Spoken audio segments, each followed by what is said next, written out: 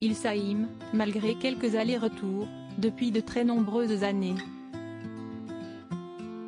Michael Youn est en couple avec Isabelle Funaro depuis 2008 et il a eu avec elle deux enfants. Les amoureux sont parents d'une fille de 11 ans qui s'appelle Sévené de Stellar, un petit garçon de 3 ans. Comme vous le savez sans doute, le mannequin avait partagé, précédemment, une relation sentimentale avec Pascal Obispo.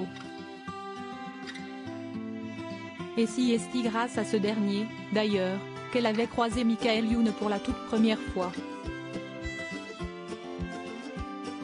Cette rencontre n'avait peut-être pas fait de grandes étincelles sur le coup, puisque Michael Youn et Isabelle Funaro se sont mis ensemble plus tard, ils se sont retrouvés au mariage d'un ami commun.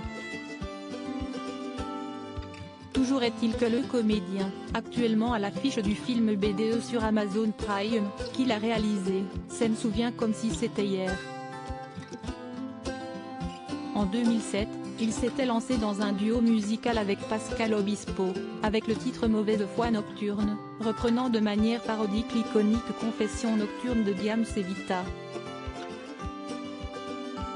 Que tu ne touches pas à ma mère si esti sur le tournage de ce clip que Michael Youn avait été présenté officiellement à Isabelle Funaro. Ils étaient divorcés. C'était terminé entre eux, explique-t-il aujourd'hui à Combini.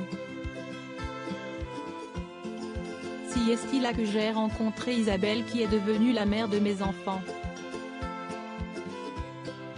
Si l'on partageait une jolie complicité musicale, l'acteur et Pascal Obispo auraient pu se fâcher face à la tournure que les choses ont fini par prendre.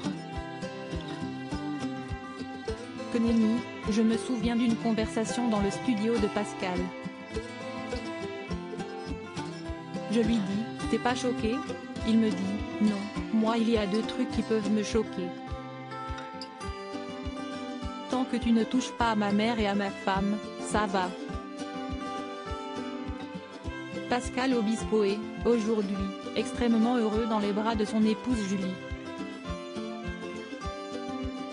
Il n'a jamais entretenu aucune animosité envers son ex Isabelle Funaro, avec qui il a eu son fils Sean, ni avec son nouveau compagnon à elle, Michael Youn.